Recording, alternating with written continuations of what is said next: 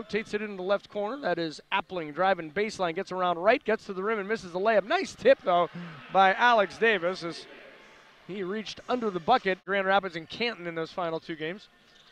Here's Harrison in the lane, kicks it right baseline. That's Davis from 10 feet. He hits.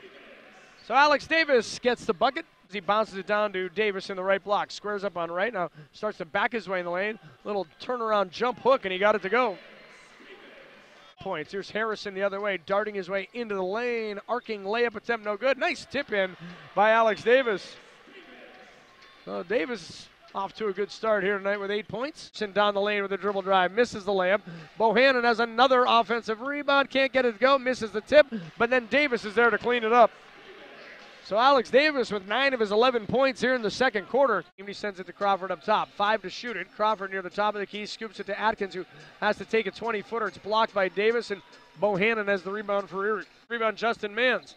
Kicks it to Bowen now. 20 footer left side, no good. Another offensive rebound. Davis down low to Mans, and he jams it home.